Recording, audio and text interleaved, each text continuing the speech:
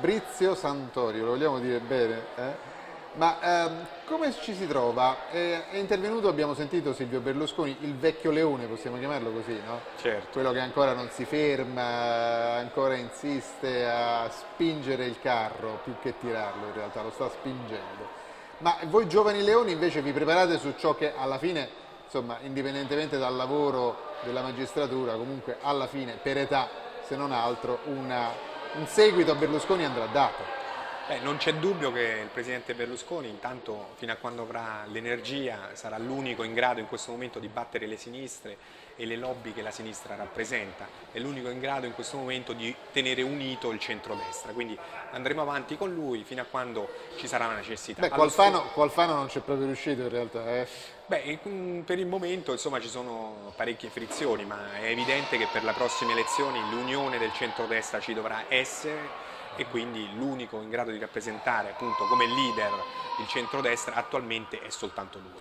Oh, ma Noi... ha ancora un senso, mi perdoni se la interrompo, ha ancora un senso parlare di centrodestra, centrosinistra? Sembra tutto un enorme papocchio, se mi permette questa vecchia parola, dove Renzi non si capisce, cioè alla fine a capo del PD c'è un ex DC, eh, un uomo di formazione democristiana, le istanze che porta avanti Grillo sembrano istanze normali che portano avanti un po' tutti, dentro il movimento grillino infatti c'è destra e sinistra mischiata, eh, a, a, destra appunto Alfano se ne esce dopo essere stato per così tanto tempo il delfino di Berlusconi. C'è un po' di confusione in giro. Ma è, confusione è tantissima.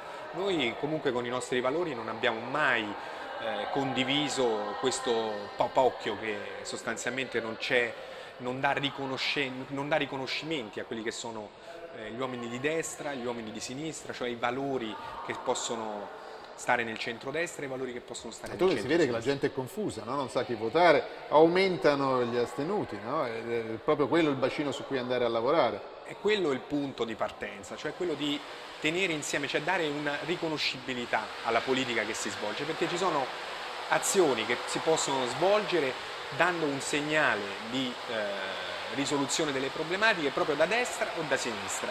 Se non ci sono identificazioni di questo genere la gente è confusa, non ha riconoscimenti, non ha persone a cui affidarsi, quindi è evidente che serve un'azione forte su questi temi, sui temi dei valori, gli indecisi si conquistano con eh, argomenti forti che sono no, vicini in un momento in cui, in cui ad esempio non c'è lavoro in giro ed è, è inutile, continuano a giocarci sotto, ma insomma o qui il lavoro o lo dà lo Stato o lo danno alle aziende, ma se poi alla fine le, le vendite non vanno, le, le, le, cose non funzionano, diventa, il rischio è che diventi un assistenzialismo di Stato, ma in quel momento lì noi stiamo continuando a importare eh, gente da fuori, no? per carità siamo stati un popolo molto accogliente, ma è ancora il caso di continuare a far entrare tutti o no? Non è assolutamente il caso, bisogna far entrare chi poi ha un'opportunità di lavoro, altrimenti è manovalanza per la criminalità organizzata, per la microcriminalità. Bisogna controllare le frontiere così come avviene in tutta Europa e nel mondo. Soltanto l'Italia purtroppo, che è il ventre molle dell'Europa, soprattutto in Sicilia e al sud, continua ad avere degli sbarchi, continua ad avere immigrati clandestini.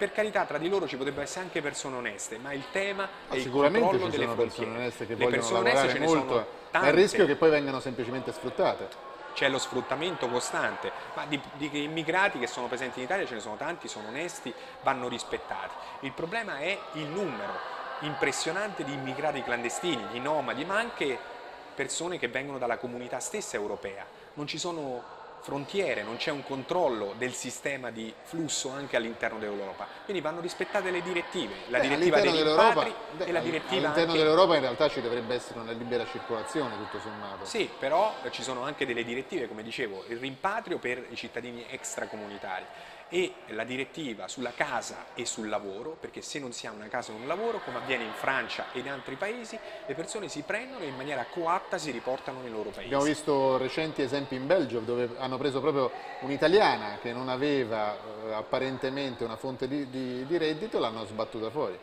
Questo deve avvenire in tutta Europa perché lo dicono le leggi, poi vanno, le leggi vanno rese eh, vanno applicate, quindi rese concrete sul territorio, questo purtroppo in Italia non avviene, quindi c'è eh, un senso di impunità anche che eh, coinvolge tantissime eh, realtà straniere e che vengono in Italia per fare quello che vogliono. Quindi noi siamo i fessi un po' del continente europeo e siamo stanchi, anche sul Marò abbiamo subito quello che abbiamo subito, l'Italia è, è derisa eh, da un'azione internazionale che non tutela i nostri due leoni ormai fermi in India da moltissimo tempo. Quindi su questo... Ostaggio direi della politica locale che finché non si faranno le elezioni non finisce questa storia. E non è soltanto questo, è anche ostaggio di interessi forti, quelli delle compagnie delle Indie, insomma eh, il tema però è avere un governo storia, forte. La famosa storia degli elicotteri che non si sapeva se, se l'India li ordinava oppure no ed era legata proprio a questo, lasciateci Marò e vi ordiniamo gli elicotteri.